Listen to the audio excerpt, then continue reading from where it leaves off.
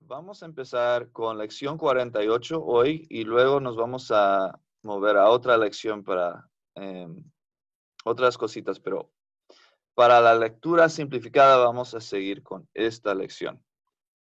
Ok, tenemos semilla o simiente, zera, que ya hemos visto, zar'i, que sería mi simiente. Y luego desierto, midbar, que ya conocemos. Berseba, eh, son dos palabras en hebreo. Be'er, sheva, y es pozo, que ya ven aquí abajo. Be'er es pozo. Entonces es pozo de un voto. Y em, a propósito, estuve en Berseba em, hace como tres, cuatro años atrás. Em, y quedé, me, quedé con un pastor cristiano ahí y pude ir a su iglesia ahí en Berseba. Muy interesante. Es casi un desierto ahí. Y este, eh, ellos siempre están bajo la amenaza de los misiles de Gaza. Gaza siempre está, está tirando misiles eh, y sobre todo esa zona, esa zona y eh, las defensas de, Israel siempre están, siempre están tratando de defender de esos misiles. conocí a algunas personas que habían perdido sus casas por explosiones que, entraron ahí y no tocaron directamente a sus casas, pero la explosión dañó la estructura de la casa tanto que el gobierno, si eso pasa, el gobierno te, te hace una nueva casa totalmente. Muy, cosas interesantes. Bueno, Berseba. Pakah, él abrió, o Yifkah, eh, futuro. Entonces, esto normalmente se usa con ojos, abrir ojos. Eh, Ra'a, él vio, ya conocemos, creo que Amá, criada, sierva, Yarash, él heredó, Yirash, él heredará, Ra'a, Ra'a y Yera, perdón, Yera, em, él era malvado. Porque algunos estaban preguntando sobre el, video, ¿no? donde usamos este verbo con ojos, ¿no? Eh, yera, algo ser o estar malvado en los ojos de alguien. esto es, conocemos ra, ¿no? Malo, o maldad, y aquí es el verbo de ser o, estar malo o malvado. Luego, Naar, ya conocemos. Ok, vamos a leer un poco esta historia. Yahweh pakad et Sara kasher amar. Okay. Yahweh pakad et Sara kasher amar. Y pongo una pausa allí por el acento. Y Yahweh se encontró o fue a Sara, o visitó, ¿no? Visitó a Sara de acuerdo a y amar. ¿Qué sería amar aquí? Él dijo. ¿Ok? Entonces podríamos decir, ah, ah, de acuerdo a, su, su, dicho, a lo que dijo, Vateled Sara Abraham ben Vaikra Abraham et Shem bno Yitzhak. Otra vez. Vateled, Sara Abraham ben.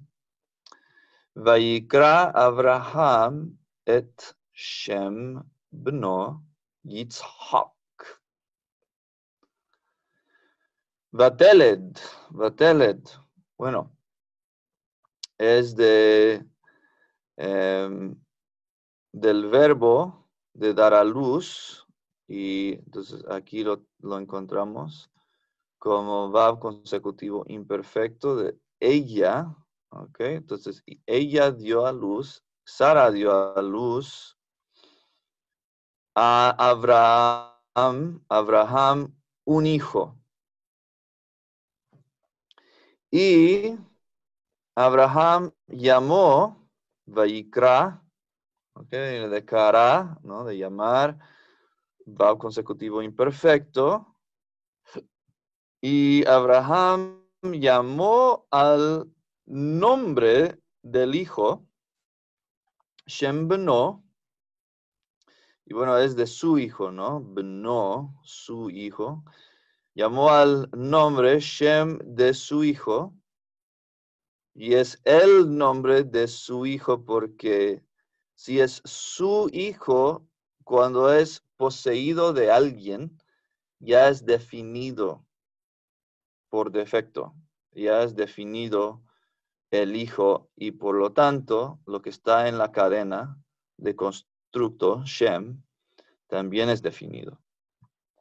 Shem beno Yitzhak, okay, llamó el nombre de su hijo Yitzhak, Isaac, y fue circuncidado Vaimol.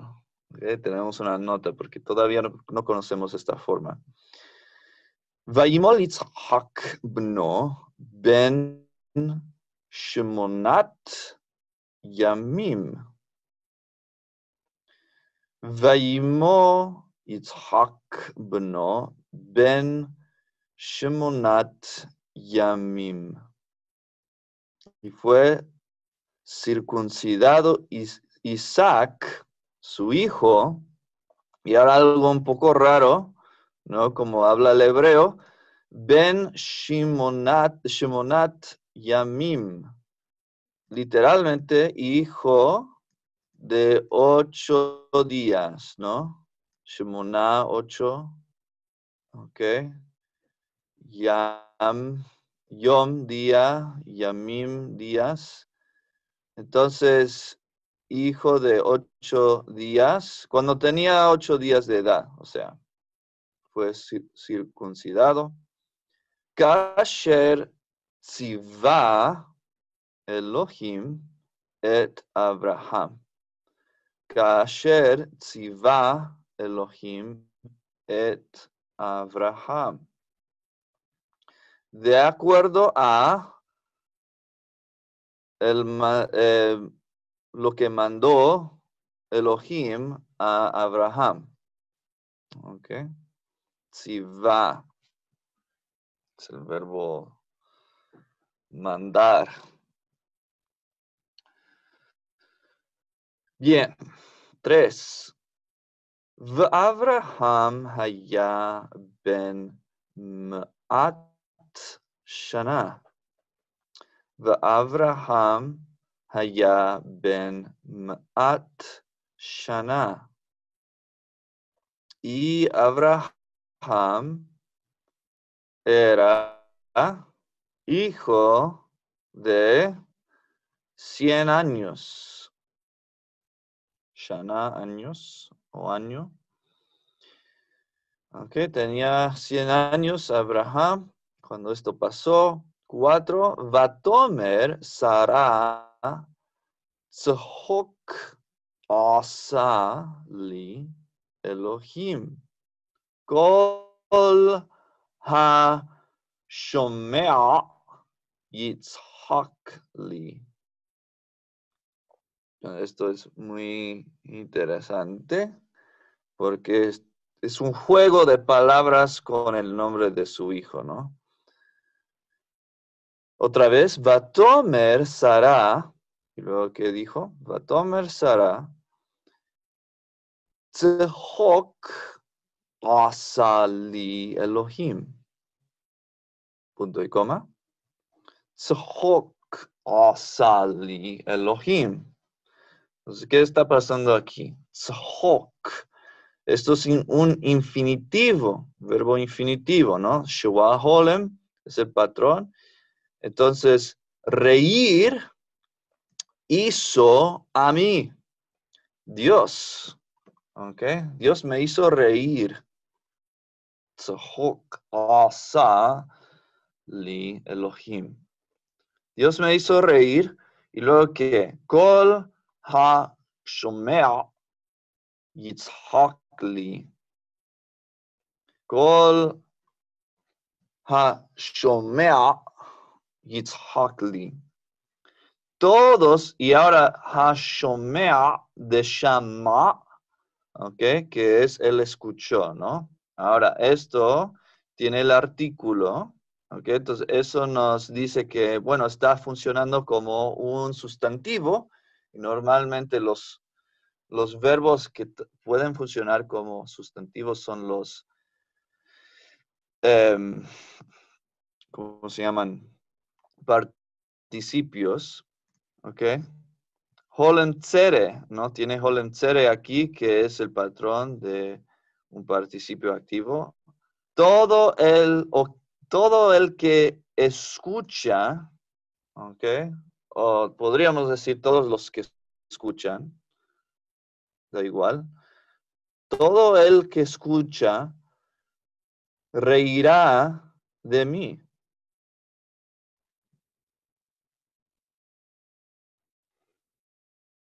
Ok, entonces, o conmigo, podría ser, creo que es de mí, y, eso puede ser tomado como reirá, porque están, reirá de gozo o reirá de, ¿cómo puede ser? ¿No? Porque es tan vieja. Em, sí. Todo el que escucha reirá de mí. Ok, Vamos a ver si tenemos más tiempo para leer más de esto después de discutir lo que tenemos que discutir, porque esto tomará un poco más tiempo. No quiero dejarlo hasta lo último, último. ¿Ok? Entonces vamos a brincar a lección 52 en página 199. Página 199.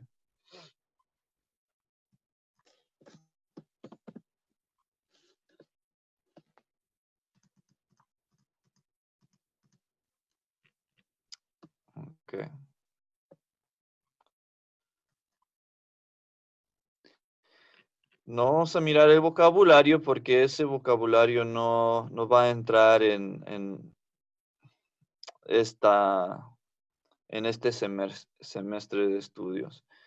Pero esta información sí. que Tenemos que hablar de las conjugaciones del verbo que ya han visto en el en la tabla del verbo, atrás en el libro. Las raíces verbales hebreas son triliterales, eso ya sabemos, ya hemos hablado de esto. Es decir, tienen tres consonantes, ¿no? Las raíces ocurren en siete conjugaciones o raíces principales. ¿Ok? Em, hay, una, hay un poco de confusión aquí. En inglés no usamos raíz para esto. Eh, solo usamos raíz para la forma léxica, podemos decir, del verbo. Entonces, yo he estado diciendo la raíz. ¿Cuál es la raíz? Si, por ejemplo, por ejemplo tenemos la palabra, la palabra yikra, bueno, la raíz es cara, ¿no? Y está conjugado como imperfecto. Pero también eh, lo que pasa es que en, español han eh, escogido usar conjugación o raíz también para estas otras cosas que nosotros más que nada vamos a llamar con el nombre hebreo Binyamin, Binyanim, perdón. Binyanim. Entonces aquí tienen la palabra bin yanim, que creo que ya conocen la palabra baná, ¿no? Baná de construir edificar, que salió en los videos y también en las lecturas simplificadas, creo. Entonces, esto es una forma de esa palabra, baná, bin, binyanim, edificios, cosas edificadas. Las formas verbales, verbales, verbales presentadas de manera sistemática hasta ahora han estado en la conjugación cal, que en hebreos significa ligero o sencillo. Hasta ahora hemos solamente tratado con los verbos sencillos, podemos decir, o ligeros. Y bueno, según, y, no les quiero espantar, pero a veces se llaman kevedim pesadas, estas otras seis conjugaciones que vamos a mirar esta semana. ¿Ok? Pero normalmente binyanim. Ok, sus nombres vienen de las formas del verbo Pael o Paal, em, él hizo, otra forma del verbo eh, o otro verbo de hacer. Paal en las conjugaciones correspondientes. Ok. Bueno, de ese, de ese verbo tienen sus nombres diferentes. Y hoy vamos a hablar del nifal, ¿ok? Aquí tienen Nifal y Jifil y Jofal y este, por una segunda consonante duplicada tenemos Piel y Pual. Y luego finalmente con un prefijo especial tenemos Hitpael. Estos son los seis, eh, las seis Binyanim. Las seis Binyanim. Porque en, otro sentido estamos tomando el cal, el ligero, sencillo, y estamos edificando otras conjugaciones encima de ello. Ok. Esto es importante porque cada uno de estos va a dar al verbo otro sentido. Okay. Hoy vamos, por ejemplo, vamos a ver que el nifal da al verbo un sentido pasivo en muchos, muchas ocasiones. Pasivo al verbo. Entonces, si era, él mató, si lo ponemos en nifal, ya es él fue matado, pasivo. Y así funciona el hebreo. Em, Entonces, para ayudar a, ellos dicen, para ayudar a un estudiante a usar un diccionario, diccionario hebreo y para ayudarle a empezar a leer los textos bíblicos, hablaremos de los sentidos básicos de las varias conjugaciones sin intentar una explicación más completa. Okay, entonces nos van a dar lo más esencial de los significados o sentidos de cada conjugación de los binyanim. Ok, la conjugación nifal. Entonces, hay verbos, por ejemplo, si buscan en el léxico o diccionario, hay ciertos verbos que solo aparecen en una conjugación. Por ejemplo, que puede ser un verbo que solamente aparece no en cal ni en nifal, pero solo en jifil. Em, o uno que solamente aparece en Nifal, por ejemplo, y nunca aparece en otro, en toda la Biblia. Eh, entonces, y luego hay verbos que aparecen en todos, todos los binyanim. Y en cada instante tiene otro significado, un significado em, particular y a veces casi totalmente diferente. Y eso es algo que tenemos que navegar. Ahora, lo mejor, lo más natural para hacer todo esto. No es de memorizar el verbo en cal y luego conocer em, y, luego memorizar todos los significados que puede tener en cada binyanim. Porque así no aprendemos un idioma. Lo mejor es tratar cada verbo, cada conjugación como su propio verbo.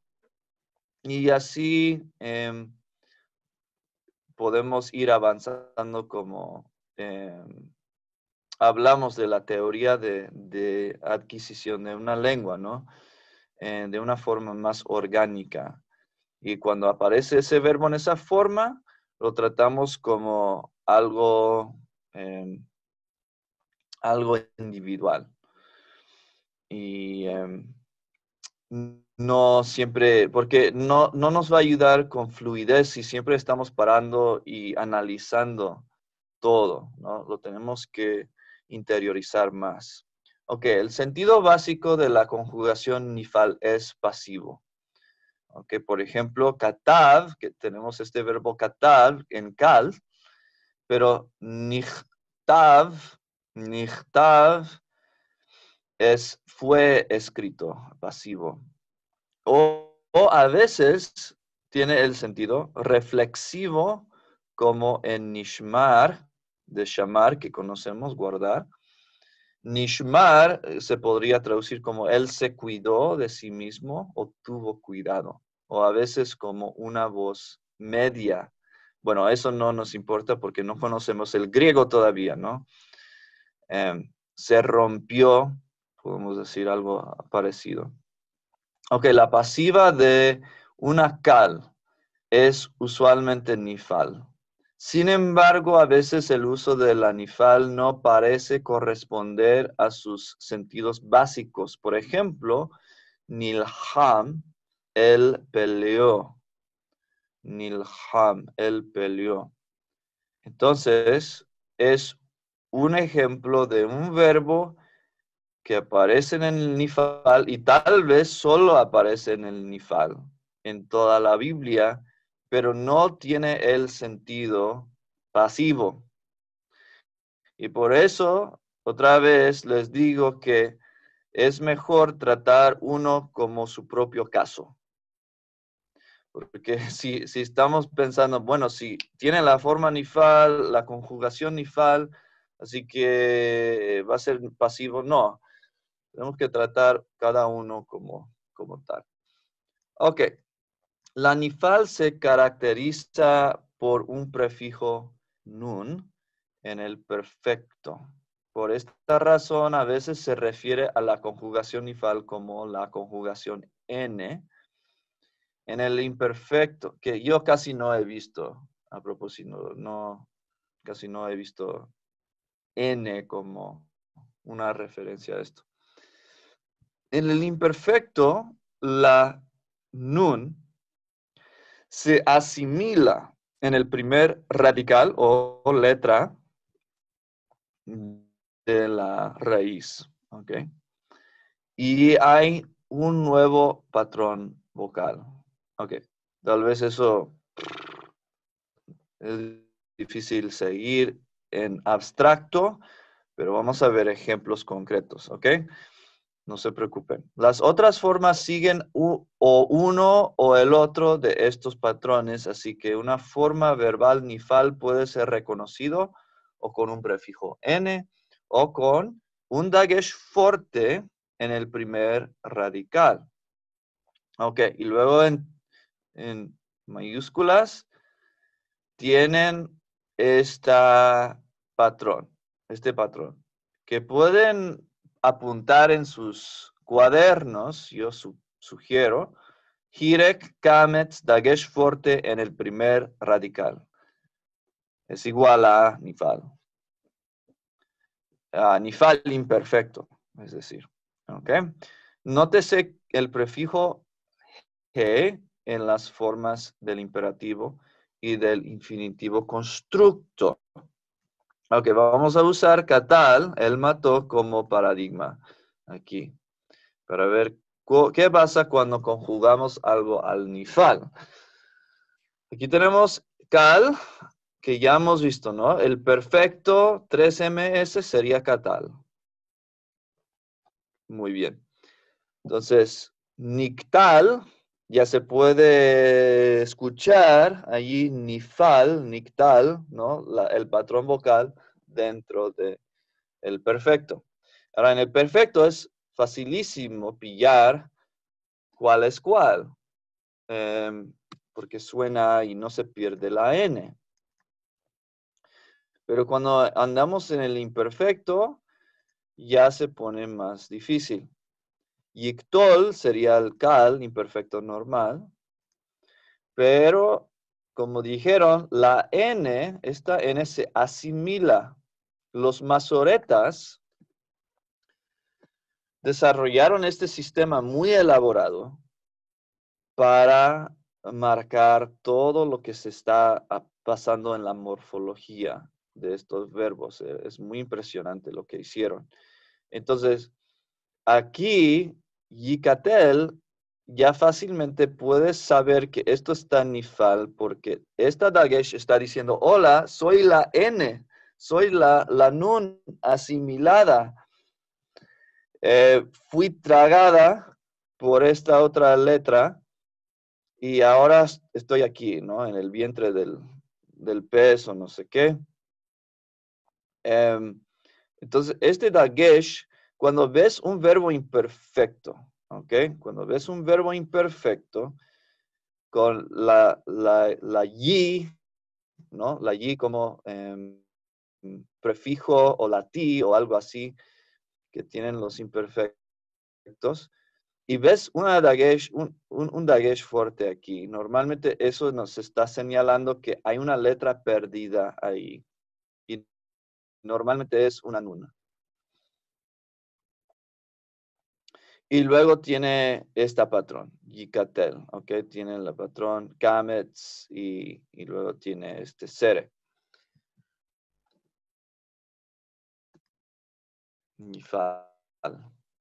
Entonces, es, es, la traducción de esto sería, él será matado.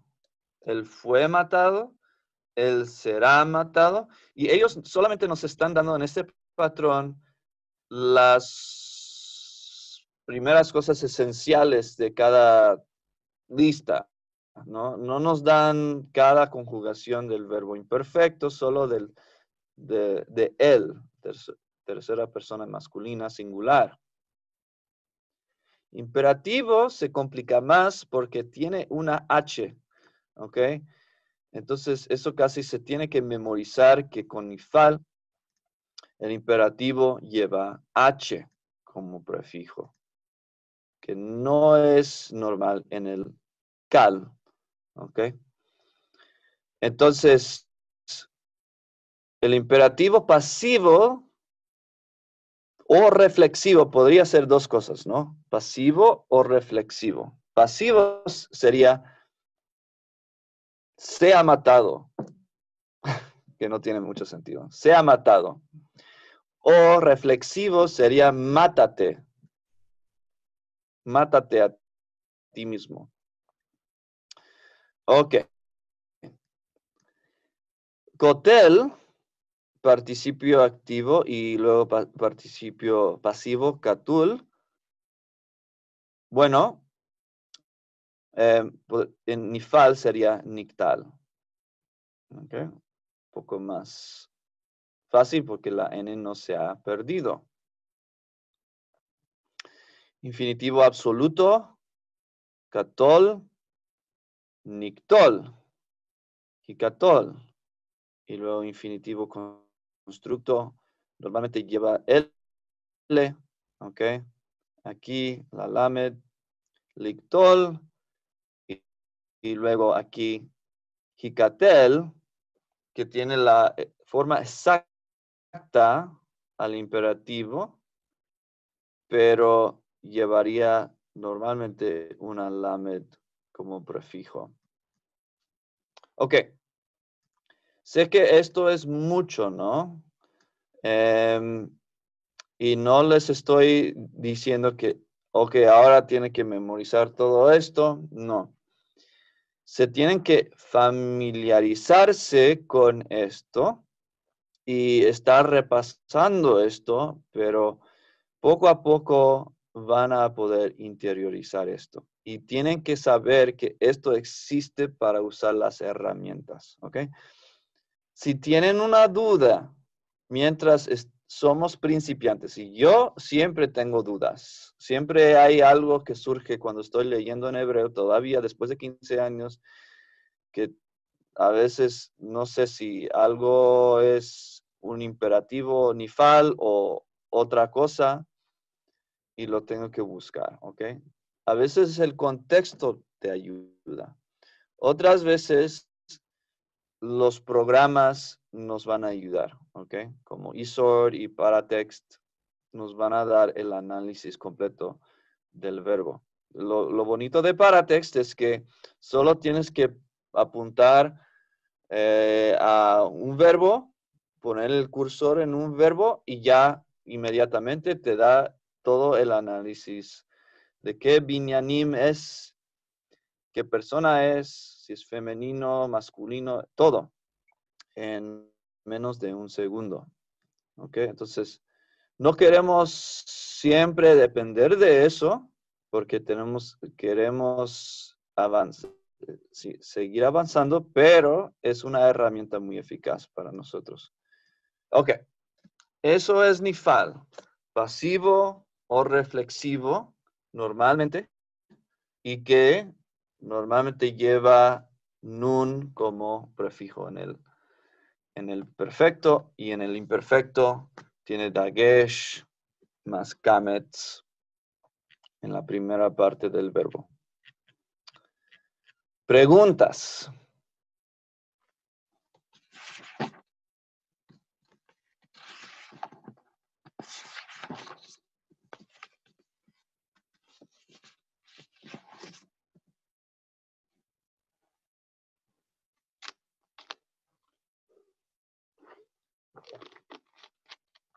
Ok. Vamos a saltar ahora a lección 54, página 208. Página 208.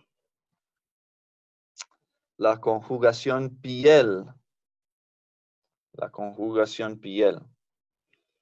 O el binyanim piel. Podríamos decir. Ok. Entonces ya hemos conocido a nuestro amigo Nifal, pasivo o reflexivo. Pasivo o reflexivo.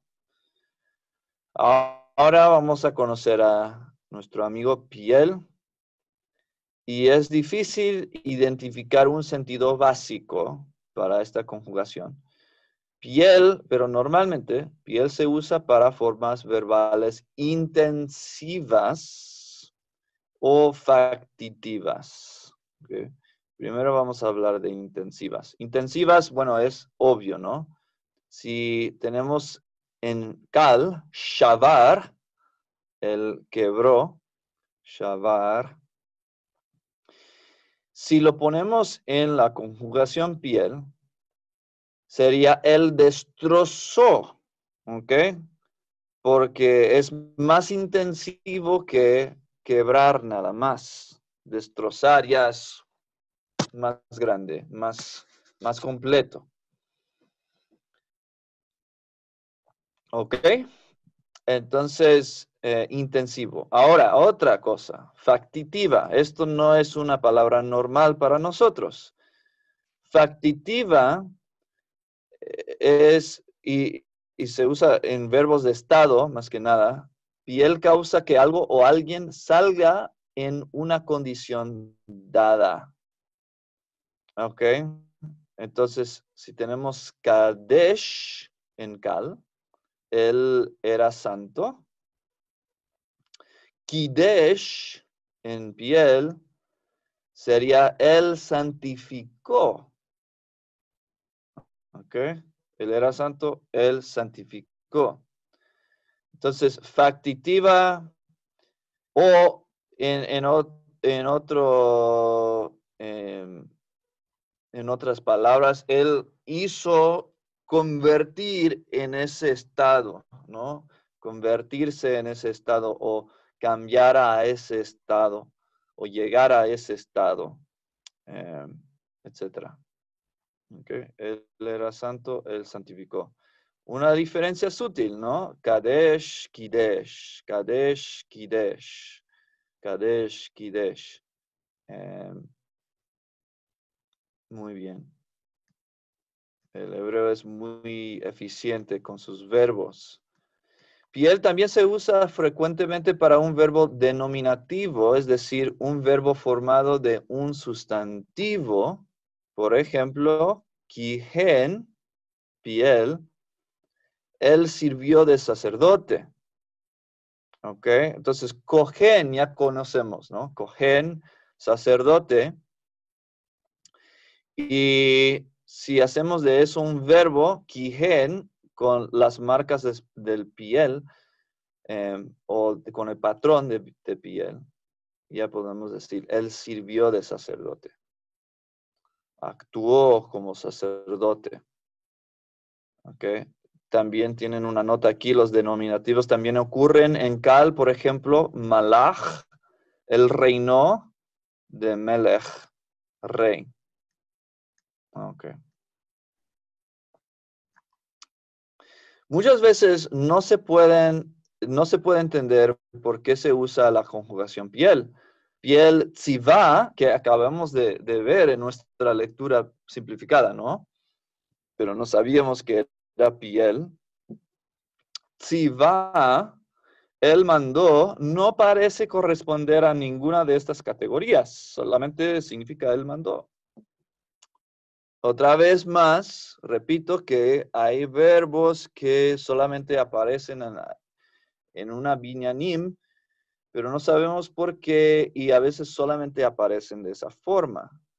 Y siempre lo vamos a ver eh, con con, las, eh, con el patrón de ese binyanim. Y nunca vamos a ver, por ejemplo, el cal de ese verbo. Ok, si va, el mandó. El perfecto piel tiene hirek como su primera vocal Okay. Piel con el nombre se puede, se puede deducir un poco, ¿no? Piel, piel, bueno, hirek, y luego dagesh fuerte en el segundo radical, y normalmente E como va la segunda vocal, ¿ok? Piel. La dagesh fuerte es importante reconocer, ¿ok? Entonces, ¿ven la diferencia? Entre Kadesh y Kidesh. Esto sí tiene, siempre nos da una pista que es piel con esta, este Dagesh. Lo que sí necesitan hacer ustedes es memorizar el uso de cada binyanim. Eso sí deberían saber muy bien. Entonces, si digo nifal, ah, sí pasivo o reflexivo. Si digo piel, sí factitivo o intensivo. Em, o lo más básico, ¿no? El denominativo no es tan común, no tienen que memorizar eso. Si lo memorizan, está bien. Pero lo más común es intensivo, ¿ok? Entonces, memorice el patrón vocal. ¿Ok? Aquí es algo que deberían apuntar en sus cuadernos. Shua, patah, dagesh, fuerte en el segundo radical.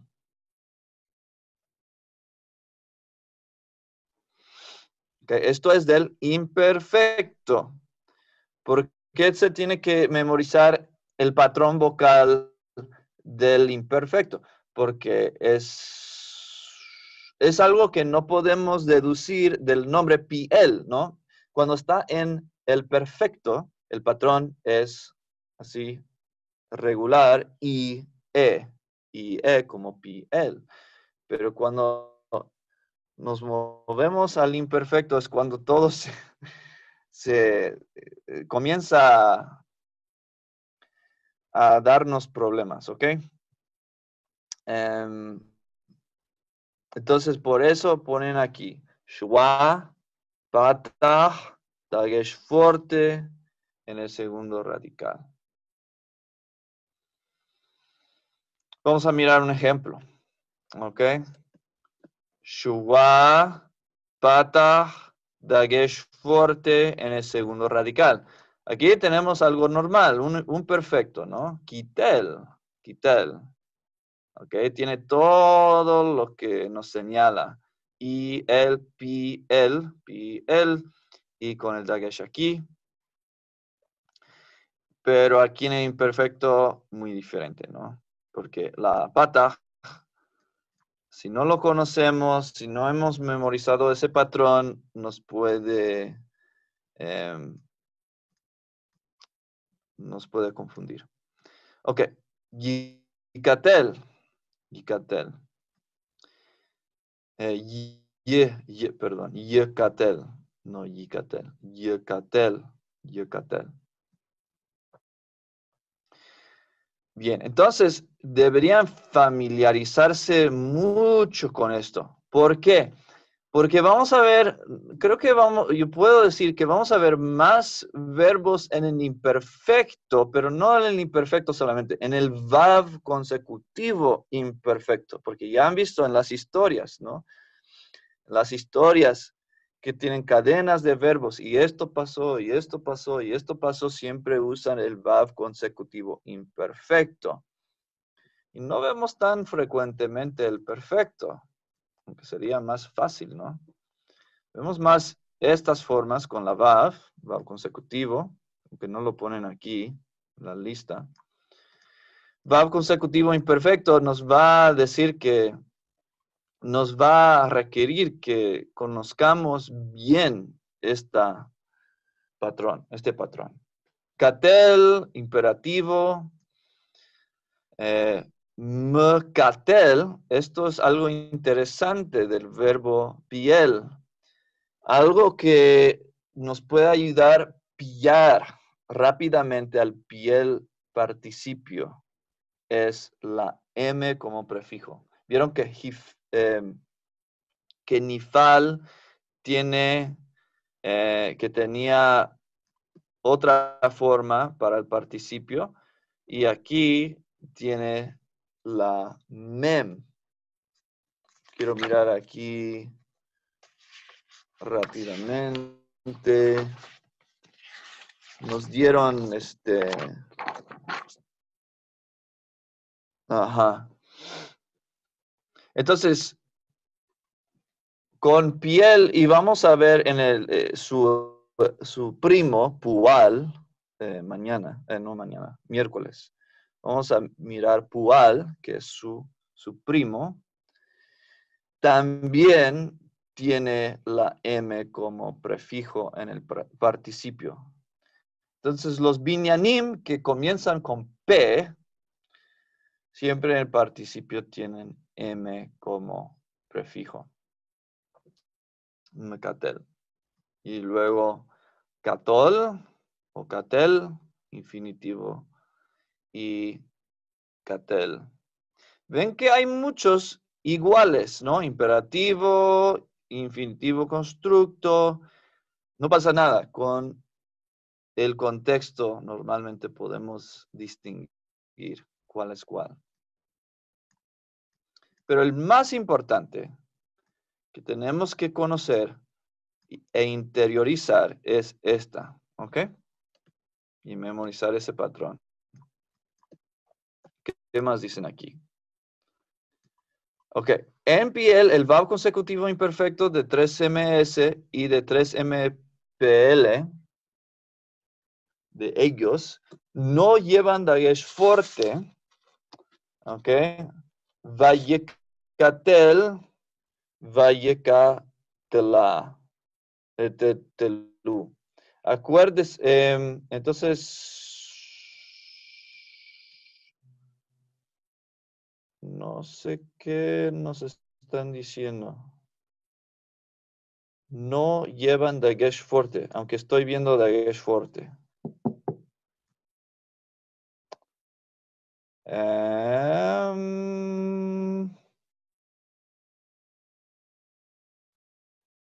ah. Ok.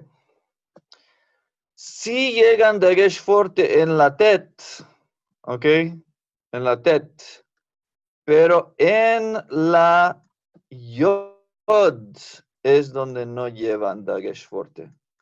Recuerdan que Normalmente vaya, eh, esa yod va a llevar dagesh fuerte cuando agregamos eso, pero no lleva dagesh fuerte. Y ellos dicen, ¿por qué? Porque acuérdase que las letras, estas, normalmente rechazan al Dagesh fuerte sobre Shua. Y pueden repasar esto en página 113. Lea el Shua como silencioso y pronuncie la combinación Patah Yod como Vai. ¿Ok? Vai Katel. Vai Katel. Vai Katel. Vai Katelu. Vai Katelu no sería Vallecatel. Vallecatel sería Vaikatel, están diciendo. Porque no tiene Dagesh fuerte en la yod. Ok, un detallito ahí. Muy bien.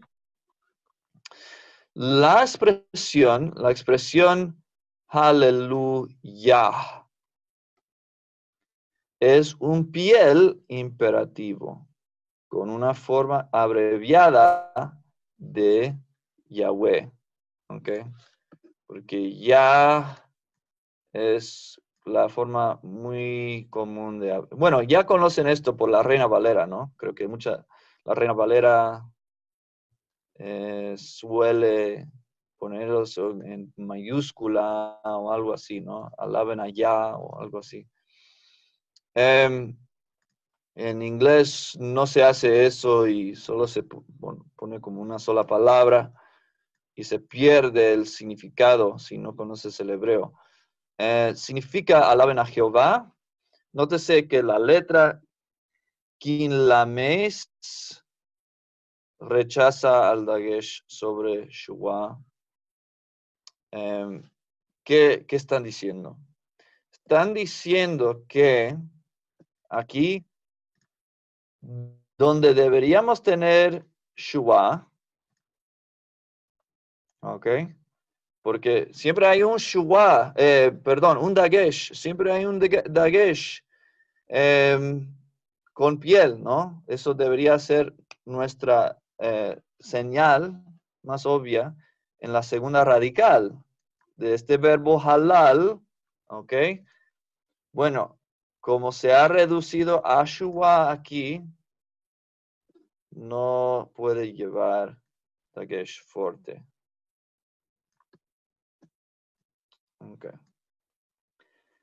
Ellos destacan esto porque es una expresión tan común que es una excepción a la regla, que, bueno, al patrón, al patrón, podemos decir. Entonces, no es que siempre vamos a ver que no tiene Shua en el piel, solo que esto es un ejemplo de los pocos, pocos, donde vamos a tener un piel donde no podemos ver Dagesh en la segunda radical. Ok. Bien. Aleluya. Entonces, aquí nos dan algo útil para comparar nifal y piel y practicar las formas claves de estos verbos. Y si quieren ver toda la conjugación, pueden mirar la tabla del verbo, ¿no? En 350 y algo en el libro y ver cada persona, ¿no? Cómo se conjuga.